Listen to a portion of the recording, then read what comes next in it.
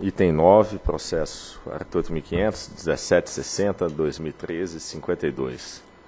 Proposta de abertura de audiência pública com vistas a colher subsídios e informações adicionais para o aprimoramento da Resolução Normativa 676 de 2015, que disciplina os requisitos de medição de irradiação solar necessários à outorga de autorização para exploração e alteração da capacidade instalada das centrais geradoras fotovoltaicas. Diretor relator, doutor Tiago Corrêa. Na 31ª reunião pública ordinária, realizada em 25 de agosto de 2015, a diretoria da ANEL aprovou a resolução normativa 676, que estabelece condições e procedimentos para emitir outorgas de autorização para implantar e explorar centrais geradoras fotovoltaicas, bem como registrar aquelas já implantadas com capacidade instalada reduzida. A metodologia adotada na citada resolução normativa derivou de informações trazidas à ANEL pelos agentes por meio da consulta pública número 7 de 2013 e audiência pública 129 do mesmo ano. Em 28 de outubro de 2015, a Associação Brasileira de Energia Solar, AB Solar, protocolou o ofício número 23, solicitando retificação dos requisitos de medição de irradiação solar estabelecidos pela resolução normativa.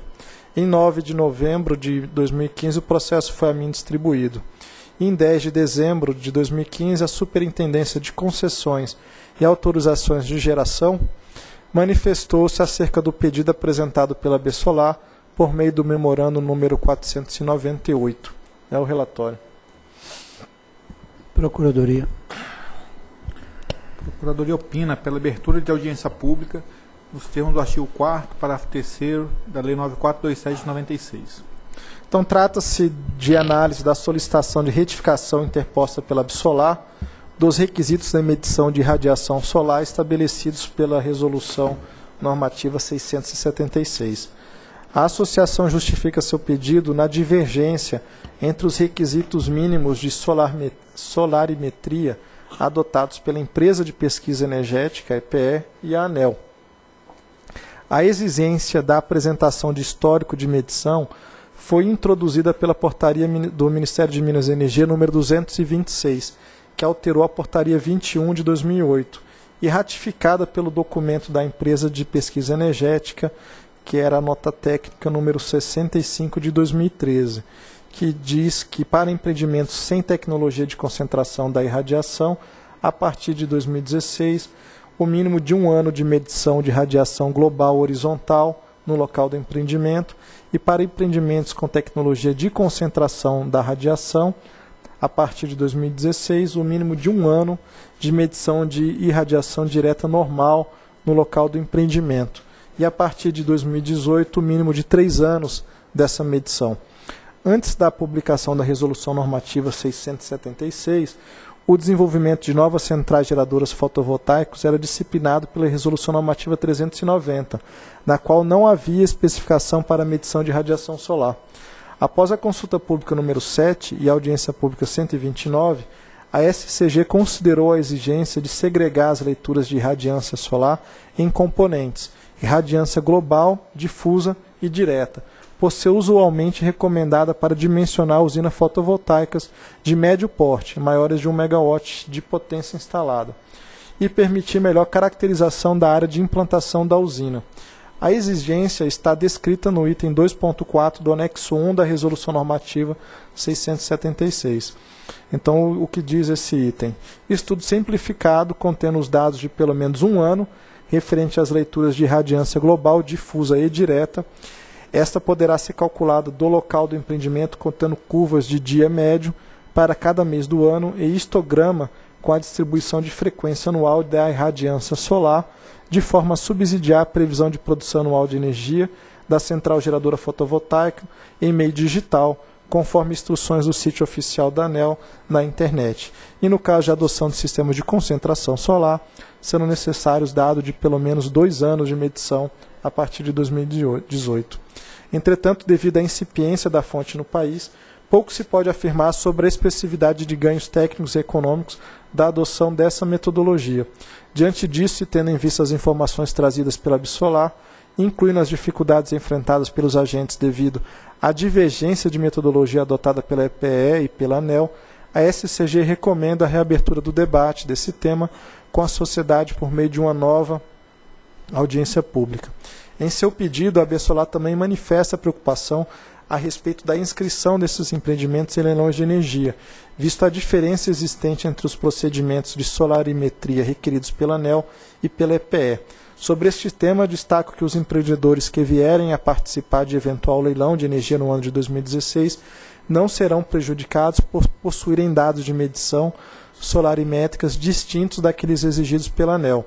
Aqueles que iniciaram sua medição nos termos da portaria 226 e antes da publicação da Resolução Normativa 676, serão registrados pela ANEL na forma do despacho de requerimento de outorga específico para participação em leilões de energia.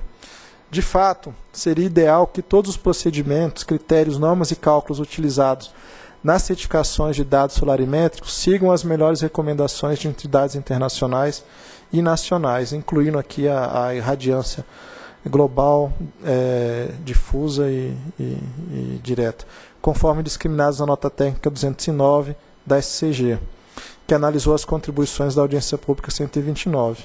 Entretanto, para fins de outorga, pode ser desnecessária a apresentação da solarimetria ANEL, uma vez que tal informação seria oferecida no âmbito do processo de definição de garantia física, regido por regras e critérios do Ministério de Minas e Energia. Aqui, para mim, eu acho que é o principal problema.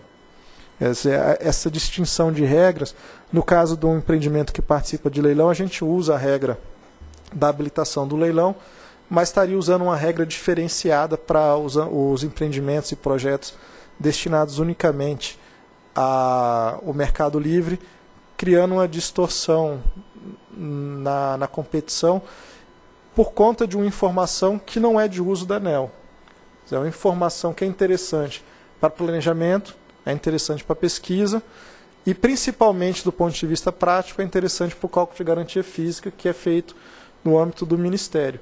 Então me parece que a gente poderia fazer aqui uma referência é, genérica à regra do Ministério e o que tiver exigindo lá, né, certamente com a fundamentação técnica da equipe da EPE, que é quem vai utilizar esses dados para o cálculo e da, e da Secretaria de, de Planejamento Energético, a gente adotaria aqui para não gerar uma distorção. Bem, isso é só uma conjectura, porque a gente vai colocar o processo em audiência pública e pode até ser demonstrado que precisa, de fato, de alguma regra. Mas então, diante dessa análise, eu julgo pertinente a instauração de uma audiência pública por intercâmbio documental no período de 4 de fevereiro a 4 de março, em um mês, com o objetivo de colher subsídios ao aprimoramento da Resolução Normativa 676, especificamente e unicamente no sentido de disciplinar os requisitos da medição de irradiação solar, necessários ao outorga de autorização para exploração e alteração da capacidade instalada de centrais geradoras fotovoltaicas. É uma resolução bastante recente, é só essa questãozinha mesmo, que aí é o apego da melhor técnica contra a melhor prática, né? Nem sempre elas estão caminham juntas. E aqui talvez abrir mão da melhor técnica seja mais adequado. Então, com apoio nessa fundamentação no dispositivo do processo 48.500.001760 de 2013, dígito 52, voto pela abertura de audiência pública por intercâmbio documental no período de 4 de fevereiro a 4 de março de 2016, visando colher subsídios e informações adicionais para disciplinar os requisitos de medição de irradiação solar necessários ao outorga de autorização para exploração e alteração da capacidade instalada de centrais geradoras fotovoltaicas de que trata a Resolução Normativa número 676, de 25 de agosto de 2015. É o voto. Em discussão. É que é importante, é, até na, na própria divulgação do material, deixar isso que você enfatizou claro, né, para não gerar uma expectativa que estamos abertos para rediscutir todo o regulamento. É um ponto específico do regulamento. Né? Em, em votação. Eu voto com o relator. Também acompanho o relator.